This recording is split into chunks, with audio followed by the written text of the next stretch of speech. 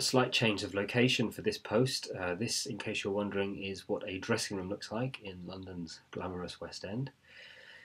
I'm here to talk about this book, The Machine by James Smythe. First of all, publishers, take note. If you want people to talk about your books, give them a lovely cover like this one. I can't tell you how many times complete strangers looked at this book when I was reading it on the tube or on the train, and I even struck up conversation with a couple of people who wanted to know more about the book, more about the author.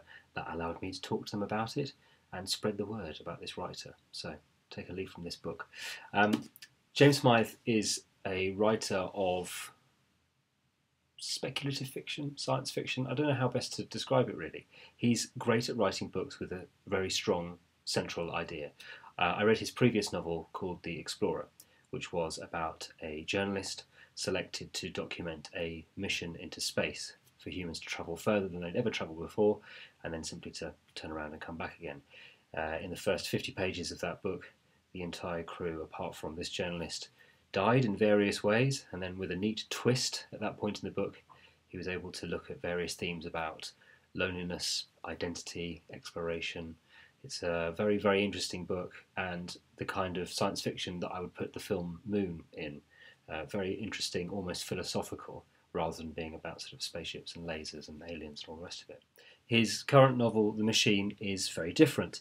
It has some science fiction elements. It is set in this country but in a different time, slightly in the future, after there's been environmental catastrophe. Uh, floods have devastated huge parts of the country. There's a barrage wall that's been erected along the Thames to protect people from any future events.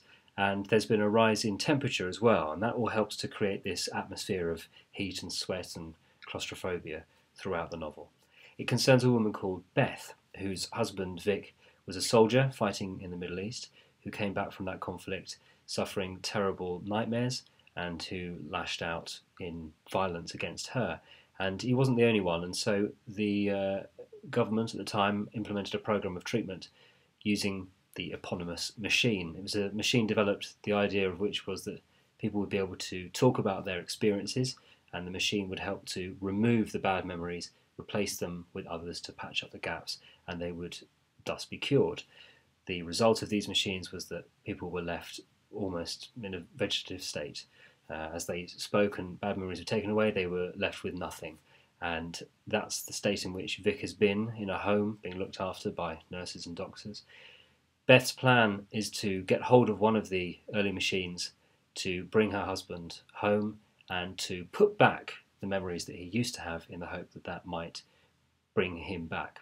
It's been described as a modern take on the Frankenstein myth, and in her attempts to rebuild her husband, you can see exactly where that comparison comes from.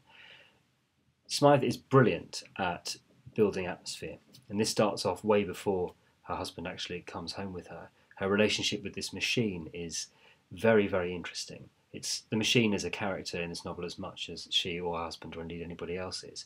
Um, it's it's a scary presence. It's a huge machine. It's foreboding. There's an amazing movie called uh, Demon Seed with Julie Christie, in which uh, the wife of a scientist has this weird relationship with a machine that he's been building with artificial intelligence. And I was reminded very much of that.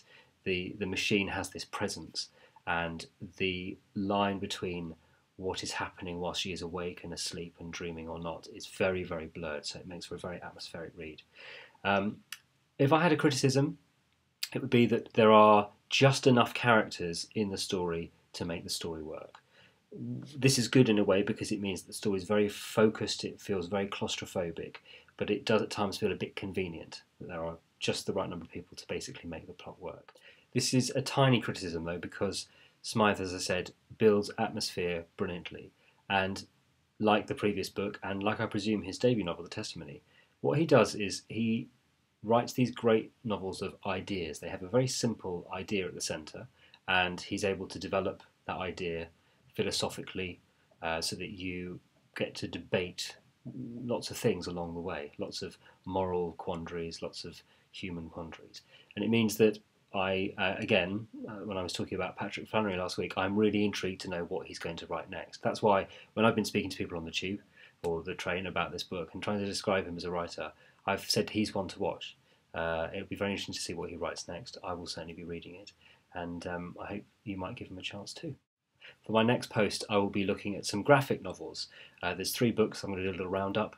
Uh, they're all very, very different, all interesting in different ways, and all gorgeous to look at. So, see you soon.